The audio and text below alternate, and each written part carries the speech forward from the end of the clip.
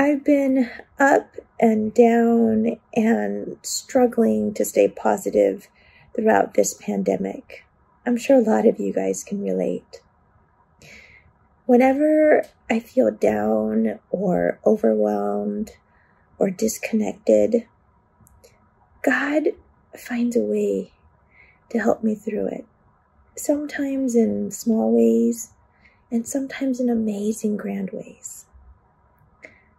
My kids, my miracle babies, they have been so supportive of these devotionals and are trying to get me to sit down and write or read and be inspired or will come up and give me ideas of their own on what I should talk about each week.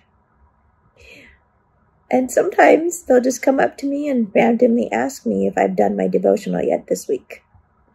And will give me a hug of encouragement to try to get me to do it. How does God know what perfect buttons to push at me to get my reluctant, sometimes lazy, procrastinating self to do what I need to do? Just always the right little nudge to go help me go in the right direction. My daughter told me that I should talk about some amazing moments in my life and how God made those moments happen. So wise, that little one.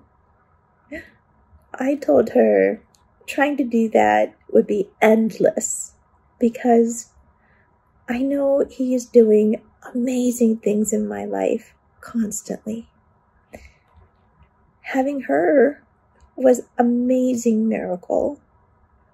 But every day that she is with me is crazy amazing. She's growing and becoming this incredible, beautiful person. And every day, the miracle of her is topped by the next.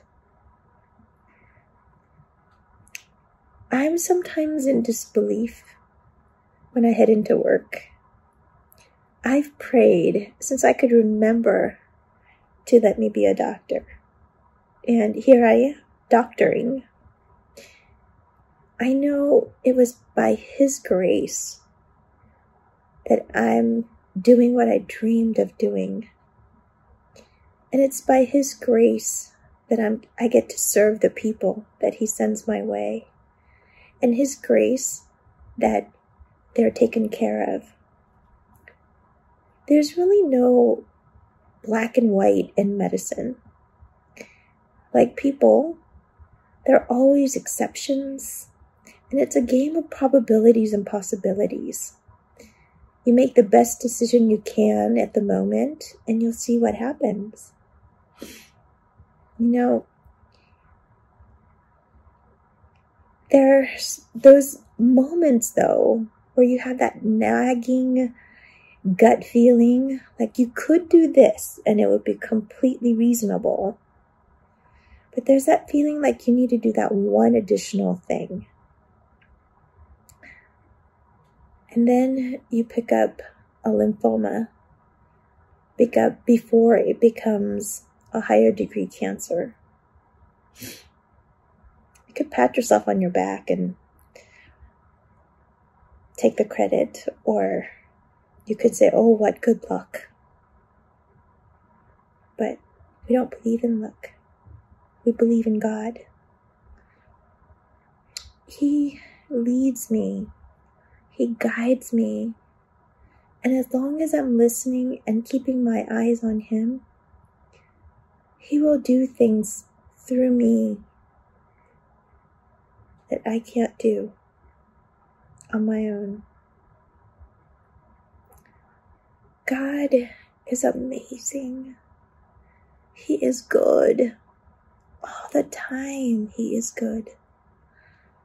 The way He provides for me in big and small, everyday ways just humbles and floors me. I'm nothing without Him. I have nothing without Him. From the moment I wake and take my first breath he is with me. This Christmas, praise and honor the one who the season is about. Try to let go of the things the world has turned Christmas into. But be in awe of the one who made you and sustains you, and whose love was manifest in the child born on Christmas Day.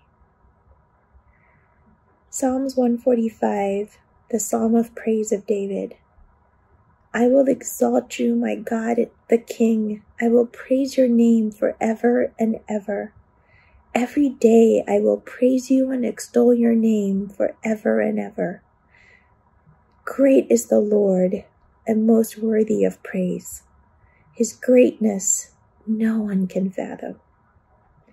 If you have time today, read through Psalms 145 and praise the Lord. He is almighty, is all good, and He loves you so.